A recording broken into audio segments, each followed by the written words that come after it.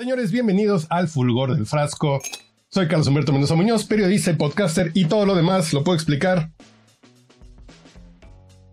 con un sorbito, con un sorbito de Bacardi. Este ron de reyes, este rey de rones, creado en 1862 por don Facundo Bacardi Mazó. Y dicho lo anterior, los invito a esta guía básica para beber Bacardi y para mi siguiente truco necesito 10 variedades diferentes de este, de este ron tan sabroso que todos hemos probado. Todos hemos agarrado un patincito con estos, con estas botellas. Con algunas de estas botellas ya iremos platicando un poquito más de... La gente dice, ay, el cacardí, bebida chafa. Vamos a platicar de todo eso en estos dos, tal vez tres episodios. Ya iremos viendo para cuánto nos da.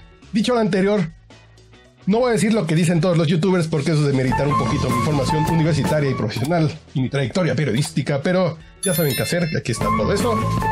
Dicho lo anterior, comenzamos con esta guía básica para beber Bacardi.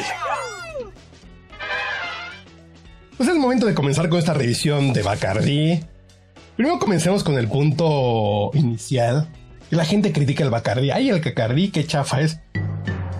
Y eso lo dicen principalmente por este muchachón. Por este, por este Bacardi Oh, blanco. This is horrible. Con permisito, ¿eh? Oh, this is horrible.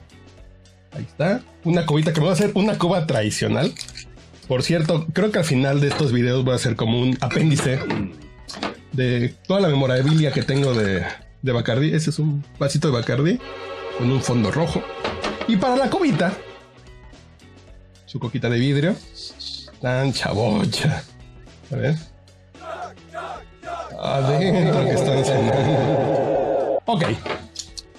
La gente critica el Bacardi por el Bacardi blanco. Es como si ustedes critican a Volkswagen por el Pointer. Es como si critican a Chevrolet por el Chevy. Pues esos son los carros baratos. ¿eh? Esos son los carros de línea de entrada.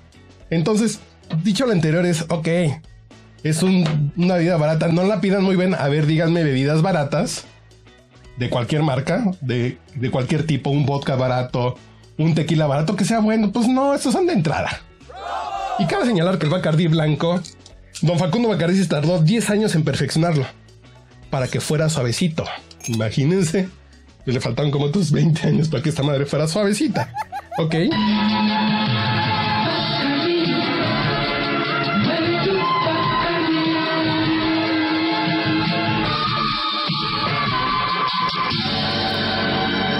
Recuérdalo, mueve tu Bacardí con cualquier mezclador, porque Bacardí sí combina. Este es mejor conocido como el Bachardón Leblanc, el bacalao sin espinas. Eh, tiene. Hace un buen experimento que pueden hacer con todos los Bacardís. Es en serio, si quieren practicar un poquito en, en estas ondas de degustación, búsquenle las notas de vainilla. Que todos estos rones que vamos a ver hoy tienen esas notas de vainilla. Y es por el proceso. El filtrado con carbón vegetal. eh, eh, entonces, básicamente, y por la melaza, por la melaza de la caña con la que está hecho, ¿ok? Ese es el arranque del mojito. Es el arranque de la cuba, del daiquiri. Y también sirve para arrancar bochos si no hay gasolina. Entonces vamos a darle un traguito. Oh, hijo. Esa es la cuba. Esta es la cuba cuba. Como en todo el mundo, la Cuba Cuba se hace con hielo, Bacardi White Rum ron Bacardí blanco and Cola Soft. y refresco de cola. Usted lo sabe. Bacardi sí combina. Pero no con el volante. Evite el exceso. Sabroso, ¿no? Vamos descartando. Voy a quitar este para acá. Esta coquita de vidrio para acá. No vamos a hablar de estos dos muchachos. El Bacardi Raspberry. Este se los recomiendo en serio. Con, con refresco de limón. Con Sprite. Sabe muy rico para la calor. Nada más así. Y el Bacardi Mango Chile no me gustó. Bacardi lo recomienda para tomarse en shots. Pero el mojito no está malo, el mojito está interesante. Es interesante. Pero al final de cuentas ya hablamos de Chevys y de Pointers. Básicamente estos son Chevys tuneados, lo cual es bien naco. Entonces dejemos estos a un lado. Estos videos, acá entre nos, es que en un canal de videos de tragos te permite beber solo y que no te llegan alcohólico. Lo cual está poca madre. Ok, ¿Por dónde comenzamos? El añejo. El, el añejo.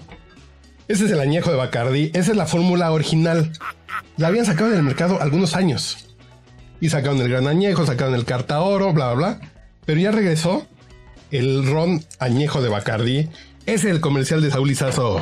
Este, que pueden ver en este momento. Añejo de Bacardí conserva su buque, porque Añejo toma su nombre de su añejamiento. El otro desaparece. Si su bebida pasa la prueba, lo felicito. Si no,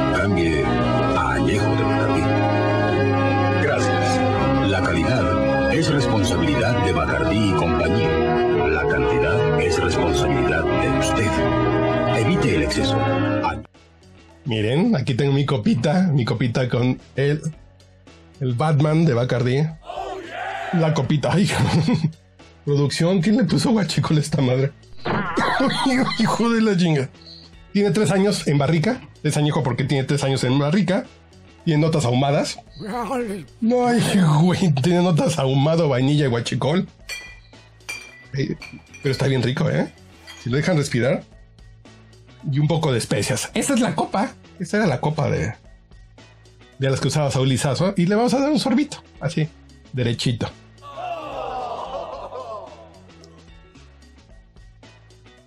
Puta, qué rico está. Es un buen ron. Es un ron barato. Tampoco se pongan exigentes. Este ron es el que le sigue. Y en precio creo que hay una diferencia como de 20 varos, ¿eh? 30 varos entre este añejo. Lo cual está muy rico. En serio, este para cubas les da mucha onda. Y búsquenle las notas, las notas, las notas de, de, de vainilla. El colorcito, pues es- está ahí dos, dos tripas. Pero en fin, aquí está la copa. El Bacardí Solera, que es de 1873, lo perfeccionó Don Facundo, 11 años después del Bacardí Blanco. Este tiene un truco muy interesante. Miren, aquí tengo mi vasito de, de Solera. Si les digo que tengo memorabilia. Mm. Ay, güey. Esta onda, si ustedes no saben cómo se hace la solera, el método, el método solera es tener unas barricas con ron viejo, cinco años, entonces le sacan tantito, vuelven a echar ron, eh, entonces siempre se va haciendo como esta, como esa ondita de tener un ron viejo en la barrica. Sacan, sacan ron, eh, ron viejo, meten ron nuevo y ahí se va haciendo como esta masa madre del ron, más o menos.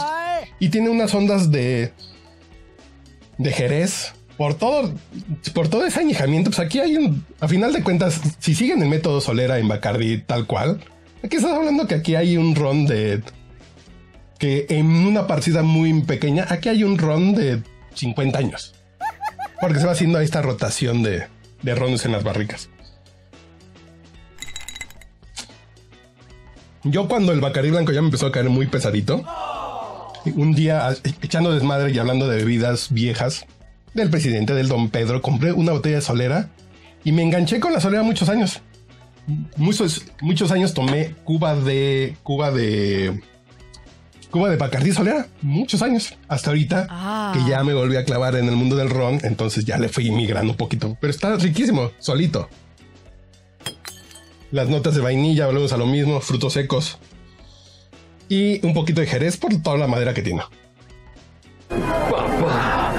En Bacardí y compañía vivimos un momento similar en 1873, cuando perfeccionamos la solera, calidad que rige nuestra excelencia en el mundo entero. En esos momentos de orgullo, evite... Tenemos este que es. Esta que es una buena. Pruébenlo. Ay, qué rico. Espérenme que voy a agarrar un patín aquí. Un sorbito de cuba. Hay un sorbito de cuba para bajarme el ron, ya saben. Es ron derechito con, con chaser de cuba. Ok. Vamos a hablar de este gran añejo. Este gran añejo no tiene nada que ver con este. Este tiene tres años. Este gran añejo es una mezcla de rones añejados que va del año a los siete años. Y además tiene la onda que está en barrica de bourbon. Este en barrica que tuvo antes whisky, whisky principalmente de maíz, gringo, hacen este, añejan este. Entonces la mezcla es bien interesante, pruébenlo. Y solito aquí tengo en mi vasito mi bajito fifi con la firma de Facundo Bacardi. Tiene unas notas de manzana que no se creen. Así como si estuvieran oliendo un refresco de manzana. Y la vainilla, que ya les dije que tiene. Todos los Bacardis tienen esa nota de vainilla. Pero este huele a manzana muy cabrón, muy cabrón. No, no, no, no, no. Ya hay gente que les pone refresco, estas cosas. Ese es, y no es caro. Este debe estar abajito de los 300 pesos. Este es un ron bien, bien rico para tomarse solo. Si les gusta el whisky, échenle un ojito a este, que está bien sabroso. Entonces, dicho lo anterior, acabamos con esta primera revisión, con esta primera parte de la, guía, Vamos, vamos con los más finoles al final. Entonces, ahorita nos vemos.